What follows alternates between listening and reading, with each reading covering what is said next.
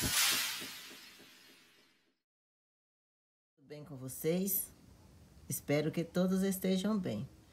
Pessoal, hoje vamos de convite. Fui convidada pela Andrea Artes e Receita a estar tá mostrando uma planta que eu amo. Que eu mais amo, né, gente? Gente, Andrea, eu amo todas as minhas plantas. Todas, sem exceção. Mas mesmo assim, eu escolhi algumas aqui para estar tá mostrando para vocês. As flores de maio foi em homenagem ao Dia das Mães. Por isso que eu escolhi as flores de maio. As flores, as flores de maio. A gente vai falar flores e folhas, aí não dá certo, né? Aí eu escolhi né, as flores de maio, que elas estão aqui maravilhosas, aberta, lindíssima, olha só. Que show, gente. Que beleza, né? Que são as flores de maio. E quando dá certo que elas abrem todas assim no dia das mães, fica mais bonita ainda. Então, gente, para quem não conhece o canal da Andrea, Artes e Receita, vai lá conhecer, deixar um joinha para ela, tá bom? E aqui, ó, tem muitas flores de maio. Olha só essa aqui, gente, enxertada na pitaia, assim, não é um sonho. Olha só. Imagina quando ela estiver aberta. Ela ainda não está aberta totalmente. Tá só com botões florais. Tem essa aqui também, que é enxertada na pitaia, ó.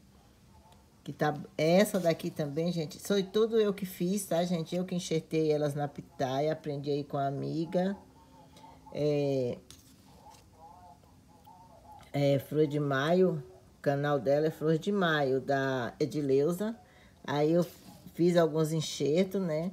Eu aprendi com ela, realmente, esses enxertos aqui tá fazendo na pitaia, que eu achei muito legal, muito bacana e gostei. E tô seguindo algumas receitinhas dela e tá dando certo aqui também, gente. Olha só. Então, André, espero que você goste aqui das minhas flores de maio, como homenagem aí ao Dia das Mães. Olha só essa, gente, como é que tá. Olha que cor maravilhosa, linda. Amo todas as cores das flores. Todas as plantas eu gosto muito. E tenho vontade de adquirir muito mais, né?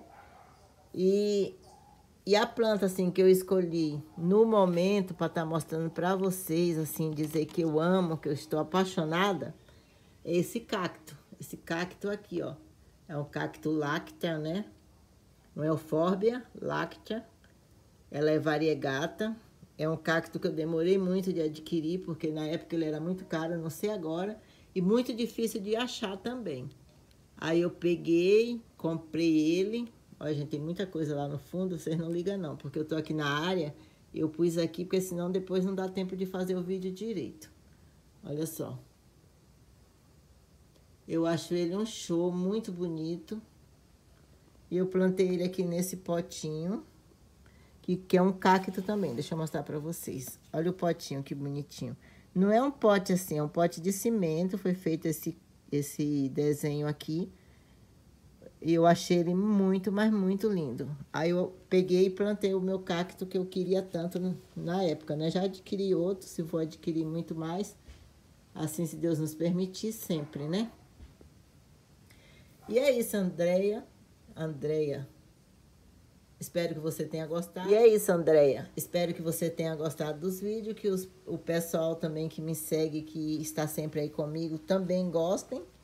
E, desde já, muito obrigada a todos vocês por, por estar sempre aqui comigo, comentando nos vídeos. Muito obrigada mesmo, de coração. Um beijo para vocês. Olha só, gente, esqueci de mostrar essa daqui. Olha que coisa mais linda. Esse daqui é um aloe, né? Olha só. E ela, ele dá essas florzinhas bem pequenininhas assim, ó. Mas eles são lindos. Eu acho os aloe, por ele ser simples, simples, um show. E eles dão um pendão tão grande. Então é isso, gente. Espero que vocês tenham gostado do vídeo. Deixa aquele joinha, aquele gostei. Muito obrigado. Não esqueça de ir no canal da Andrea, Artes e Receita. E até um próximo vídeo. Tchau, gente. Uh.